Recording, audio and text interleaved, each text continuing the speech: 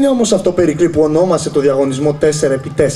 Μα φυσικά, κάθε ομάδα πρέπει να σχεδιάσει και να κατασκευάσει ένα 4x4 τηλεκατευθυνόμενο όχημα, όπως βλέπετε και μπροστά σας, εξ ολοκλήρου. Και ωστόσο, πρέπει να πληρεί κάποιες προδιαγραφές, τις οποίες ορίζουν οι διοργανωτέ. Και όταν λέει εξ ολοκλήρου, εννοεί εξ ολοκλήρου. Το αμάξι κινείται με μπαταρία που τροφοδοτεί το διαφορικό, το σέρβο και τα ηλεκτρικά συστήματα του αυτοκινήτου. Απαραίτητη κρί- κρίνεται η χρήση ενός μοτέρ, ενώ η επιλογή των ελαστικών ε, πρέπει να γίνεται με ιδιαίτερη επιμέλεια. Το σχέδιο που κάθε ομάδα επιλέγει να έχει το 4x4 όχημά του είναι καθαρά δική του επιλογή. Ωστόσο, θα πρέπει να ακολουθεί και να συμμορφώνεται φυσικά με τους κανονισμούς που ορίζουν οι διοργανωτές. Το ιδιαίτερο όμως με προγράμματα σαν αυτό είναι ότι δεν περιορίζεται μόνο στην σχεδίαση και κατασκευή του οχήματος. Ο συγκεκριμένος διαγωνισμός καλύπτει ένα ευ- ευρύ φάσμα τομέων όπως είναι η αξιολόγηση της προφορικής παρουσίας των παιδιών, ε, η συγγραφή γραπτής εργασίας, το περίπτερο το οποίο κατασκευάζουμε και εκείνη τη στιγμή, αλλά και πολλά άλλα τα οποία θα σας εξηγήσουν τα παιδιά. Όλες οι ομάδες περνούν τουλάχιστον από μια προκριματική φάση στη χώρα τους, ώστε να ακολουθήσουν η εθνική τελική. Οι δύο πρώτες σε κατάταξη ομάδες, οι δύο ομάδες δηλαδή που έχουν μεταλλε- με κατα- ε, συλλέξει το μεγαλύτερο βαθμό, τον αριθμό, αριθμό πόντων, κερδίζουν το εισιτήριο για την παγκόσμια φάση. Η Team Megagrus, δηλαδή έτσι ονομάζεται η ομάδα μας, ε, κατάφερε να κατακτήσει τη δεύτερη θέση στους Πανελλήνιους αγώνες που διενεργήθηκαν στην Αθήνα ε, και πήρε το εισιτήριο για να διαγωνιστεί στο παγκόσμιο διαγωνισμό. Ο τόπος του οποίου δεν έχει γνωστοποιηθεί ακόμα. Ε, νομίζω πως αρκετά είπαμε. Εμείς ο λόγος ανήκει στους πρωταγωνιστές της βραδιάς. Συμφωνώ απόλυτα. Α υποδεχτούμε όλοι μαζί την ομάδα Megagrus. Παρακαλώ, το δυνατότερό σας χειροκρότημα.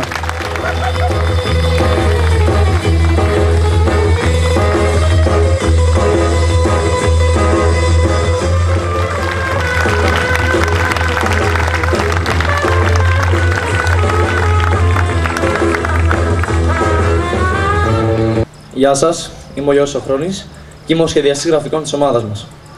Η ταυτότητα ομάδα συνίσταται στο όνομα, στο χρώμα, στο μότο και στην ενδυμασία. Team Έγαγρος. Η λέξη έγαγρος, κοινό αγριοκάτσικο, προέρχεται από την ιδέα πως όπως το αγριοκάτσικο ισορροπεί σε δύσβατες πλαγιές, έτσι και το όχημά μας καλείται να ξεπεράσει τέτοιου είδους εμπόδια. Η ομοιότητα ήταν συνεπώς τέτοια που μας οδήγησε στο να ταυτιστούμε με αυτό και να το υιοθετήσουμε. Τα χρώματα τα οποία επιλέξαμε είναι το λευκό, που συμβολίζει τις φιλοδοξίες και τις ελπίδες μας. Το μαύρο, το οποίο δηλώνει το δυναμικό των οχήματός μας. Και τέλος το κόκκινο, το οποίο συμβολίζει το ζωηρό πνεύμα που παρακινεί την ομάδα μας να μεγαλουργεί. Το, το μότο μας είναι «Where there is a will, there is a way», το οποίο στην ουσία είναι ένα λογοπαίγνιο της παροιμίας «Όταν υπάρχει θέληση, υπάρχει και τρόπος», με μία μικρή διαφοροποίηση σχετικό με το αντικείμενο μελέτης μας, τη ρόβα του αμαξιού. Στις μπλούζες της ομάδας μας χρησιμοποιήσαμε τα χρώματα του λογότυπου για ευνόητους λόγους. Στο πίσω μέρος αναγράφεται το όνομα και ο ρόλος των μελών, αλλά είναι εντυπωμένα και τα λογότυπα των χορηγών μας, ενώ στην μπροστά όψη κοσμεί το έμβλημά μας. Εγώ είμαι Ορφέας, ο υπεύθυνος marketing και διαχειριστής των μέσων κοινωνικής δικτύωσης της ομάδας. Αφού δημιούργησα τα social media, Facebook και Instagram, φρόντισα να ενημερώνω τους ακολουθούς μας καθημερινά με φωτογραφίες και βίντεο των ενεργειών μας. Προωθώντας την ομάδα, το διαγωνισμό και προσκαλώντας όλους, όλο και πιο πολλά άτομα να μάθουν για εμάς. Εγώ είμαι ο Παναγιώτης Μπουλτάς Παπαλάβρου, μηχανικός της κατασκευής της ομάδας. Απαραίτητο κομμάτι για τη σωστή λειτουργία μιας ομάδας είναι η έβρεση χορηγών. Γι' αυτό και εμείς χρειαζόμασταν κάποια χρήματα για να ανταπεξέλθουμε στις ανάγκες του διαγωνισμού. Συγκεκριμένα, για την αναζήτηση χορηγών, ακολουθήσαμε κάποια συγκεκριμένα βήματα.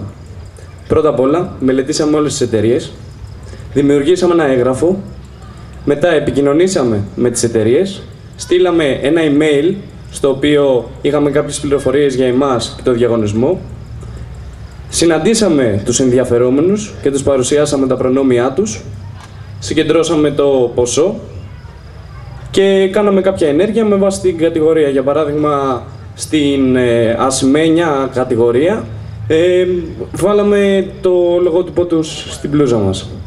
Και εγώ είμαι ο Νάσος, ο μηχανικός, κατασκε... ο μηχανικός σχεδιάσης του αυτοκινήτου, από την ομάδα Έγαβρος. Αρχικά θα σας μιλήσω για το εκθεσιακό μας περίπτερο. Η κατασκευή του εκθεσιακού περιπτέρου ορίζεται από τους κανονισμούς. Πρέπει να στηθεί μέσα σε δύο ώρες από, τους βασικού... από τα βασικά μέλη. Σκοπός του περιπτέρου είναι να περιέχει όλες τις βασικές και απαραίτητες πληροφορίες της ομάδας. Αυτό το επιτύχαμε με την εκτύπωση σε μουσαμά, όπως και με την προβολή του σχετικού βίντεο. Συγκεκριμένα, θα μπορούσε κάποιος να ενημερωθεί σχετικά με τον προπολογισμό, τους χορηγούς αλλά και τις δράσεις που κάναμε ως ομάδα. Επιπλέον, είχαμε ως δώρα για τους επισκέπτες κάποια διαφημιστικά προϊόντα με το λογότυπό μας. Τέλος, μεριμνήσαμε ώστε η κατασκευή του περιπτέρου να είναι όσο το δυνατόν πιο φιλική γίνεται προς το περιβάλλον, χρησιμοποιώντας οικολογικά χρώματα για το μουσαμά και ως κύριο υλικό κατασκευή το ξύλο. Στη συνέχεια θα σας μιλήσω και για τη σχεδίαση.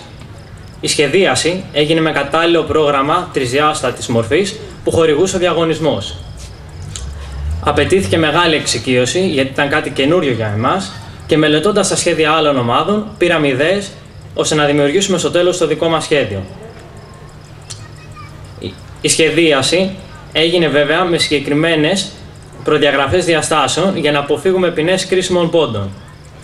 Επίσης, κάθε, για κάθε εξάρτημα έγιναν διάφορα σχέδια και ύστερα από σύγκριση αλλά και εκτενή έρευνα αποφασίσαμε ποιο ήταν το καταλληλότερο για τη δικιά μας περίπτωση.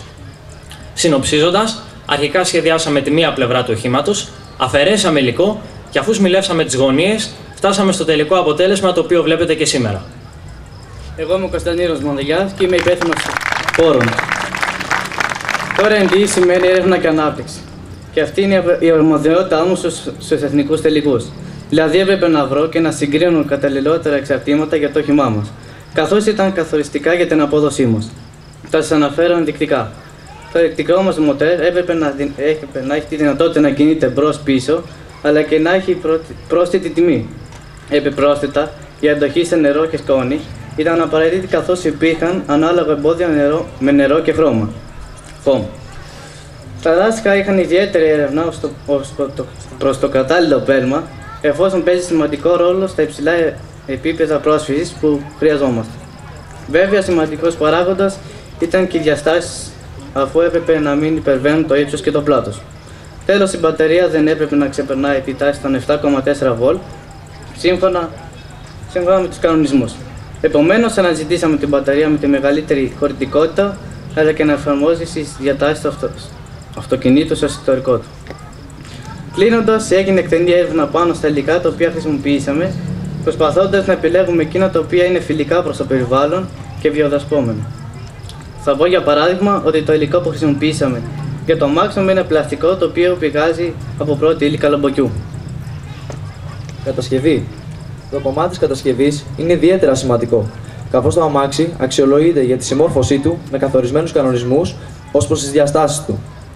Η παραμικρή παραβίαση ισοδυναμεί με επιβολή ποινών, δηλαδή αφαίρεση πολύτιμων πόντων.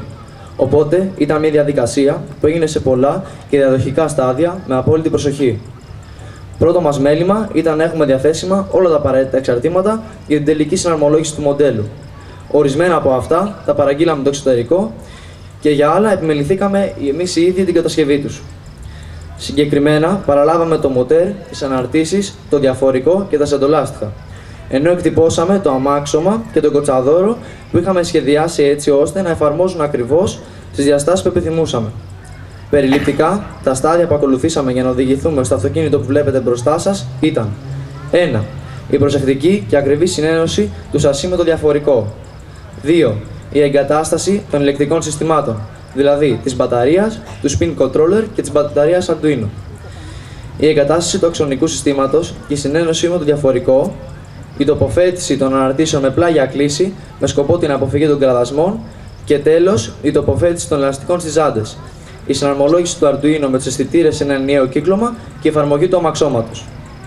Και εγώ είμαι ο Νίκος Κοψιδάς και ήμουν επικεφαλής της ομάδας στους εθνικούς τελικούς.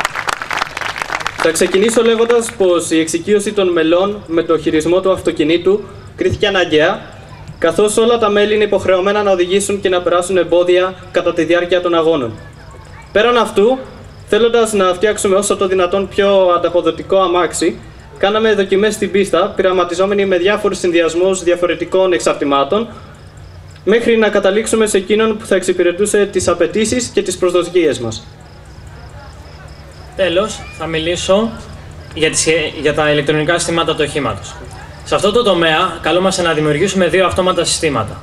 Αρχικά, Με τη, δο- με τη βοήθεια ενός αισθητήρα φωτός, έπρεπε να ενεργοποιούνται αυτόματα τα φώτα του οχήματος όταν οι συνθήκες φωτισμού ήταν πολύ χαμηλές. Επίσης, έπρεπε να ανοιχνεύουμε την κλίση του οχήματος και όταν αυτή ήταν πολύ μεγάλη, να πυροδοτεί το ενδεικτικό ήχο, ώστε ο χειριστής να αντιλαμβάνεται το κίνδυνο ανατροπής του οχήματός μας. Στην πορεία προς το παγκόσμιο, βέβαια, θα προσθεθούν νέες καινοτομίες όπως αυτόματο παρκάρισμα, αποφυγή με τοπικής σύγκρουσης, διατήρηση εσωτερικής θερμοκρασίας και πολλά άλλα. Όλα αυτά με τη βοήθεια πλακέτα Arduino γραμμένα σε κώδικα C.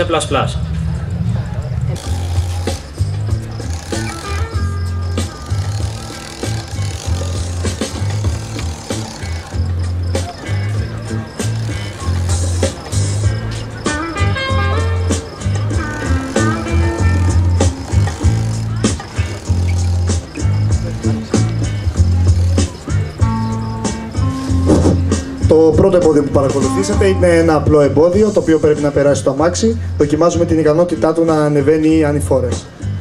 Το δεύτερο εμπόδιο, όπως βλέπετε, έχει κάποιες τραχές επιφάνειες και κάποιους κυλίνδρους που κυλάνε και πρέπει το αμάξι να το περάσει γλιστρά. Είναι δύσκολο εμπόδιο, τα παιδιά τα κατάφεραν.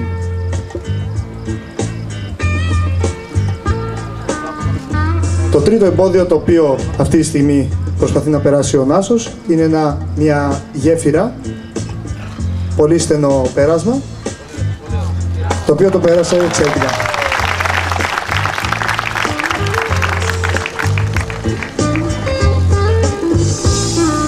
Τέταρτο εμπόδιο. Μια αερογέφυρα, μια τελευταία προσθήκη της ομάδας.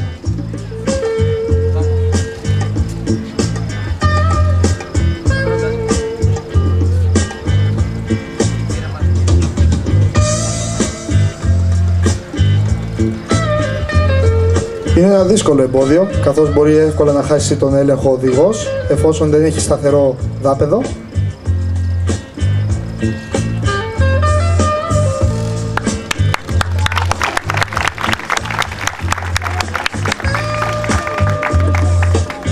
Τέταρτο εμπόδιο, το οποίο μπορεί να φαντάζει εύκολο, ωστόσο είναι πραγματικά δύσκολο. Πολλές ομάδες έχουν καταφέρει να ανατραπεί μέσα στο κουτί που βλέπετε ή να μπλοκάρει το όχημά τους και να μην μπορούν να προχωρήσουν.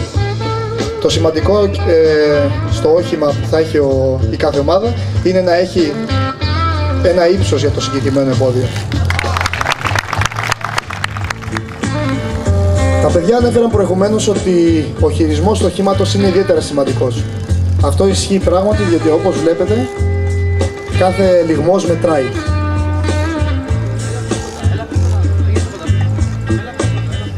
Έχουμε φτάσει στο τέλος της παρουσίασής μας, ήταν σύντομη, αλλά η... ο διαγωνισμός ορίζει πως πρέπει να προωθεί στην ομάδα και το διαγωνισμό. Ελπίζουμε εμείς σήμερα να το καταφέραμε.